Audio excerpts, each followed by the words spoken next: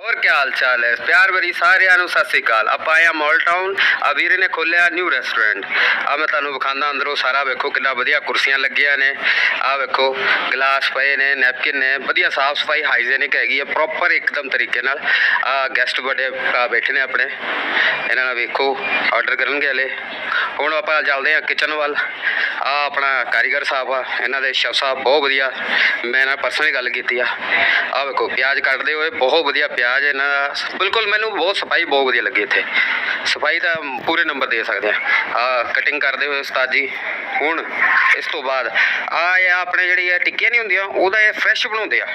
ਆਪ ਹੀ ਡੋ ਬਣਾਉਂਦੇ ਆ ਆਪ ਹੀ ਉਹਨੂੰ ਫਰਾਈ ਕਰਦੇ ਆ। ਉਹ ਤੁਹਾਡੇ ਸਾਹਮਣੇ ਫਰਾਈ ਕਰਕੇ ਵਿਖਾ ਰਹੇ ਤੋ ਵੀਰੋ ਭਰਾਵੋ ਜਿੱਦਾਂ ਦਾ ਵੀ ਲੱਗੇ ਦੱਸਿਓ ਜਰੂਰ। ਇਹ ਆਪਣੇ ਵੀਰ ਭਰਾ ਨੇ ਖੋਲਿਆ ਆ। ਮਾਲ ਟਾਊਨ ਕ੍ਰਿਸ਼ਨਾ ਮੰਦਿਰ ਦੇ ਲਾਗੇ ਬਹੁਤ ਵਧੀਆ ਆ। ਤੁਸੀਂ ਵੀ ਇੱਕ ਵਾਰੀ ਜਰੂਰ ਆ ਕੇ ਟਰਾਈ ਕਰਿਓ। ਮੈਂ ਪਰਸਨਲੀ ਕੀਤਾ ਮੈਨੂੰ ਬਹੁਤ ਵਧੀਆ ਲੱਗਾ। ਤਾਂ ਮੇਰਾ ਦਿਲ ਕੀਤਾ ਮੈਂ ਵੀਡੀਓ ਬਣਾਤੀ। ਬਸ ਥੈਂਕ ਯੂ ਹੈਗਾ ਜੀ ਕ੍ਰਿਸ਼ਨਾ ਮੰਦਿਰ। ਮਾਰਟਨ ਐਕਸਟੈਂਸ਼ਨ 14 15 ਨੰਬਰ ਸ਼ੋਪ ਹੈ ਜੀ ਆਪਣੀ। ਮਾਰਟਨ ਐਕਸਟੈਂਸ਼ਨ ਕ੍ਰਿਸ਼ਨਾ ਮੰਦਿਰ ਮਾਰਕੀਟ ਹਾਂ ਫਿਊਚਰ ਮਾਰਕੀਟ ਦੇ ਹੈ ਨਾ ਬੈਕ ਸਾਈਡ ਤੇ ਬੈਕ ਸਾਈਡ ਤੇ ਕ੍ਰਿਸ਼ਨਾ ਮੰਦਿਰ ਦੇ ਹਾਂ ਉਹਨਾਂ ਦੇ ਵੀ ਬੈਕ ਸਾਈਡ ਬਿਟਵੀਨ ਹੈ ਜੀ ਆਪਣੀ। ਵੀਰ ਦੀ ਚਾਂਪ ਵਾਲੇ ਤੇ ਜਿੱਥੇ ਸਾਰੇ ਟਿੱਕਾ ਟਾਈਮ ਦੇਸੀ ਫਰੰਗੀ ਦੇ ਸਾਰੇ ਰੈਸਟੋਰੈਂਟ ਨੇ। ਸ਼ੁਕਰੀਆ ਵੀਰ।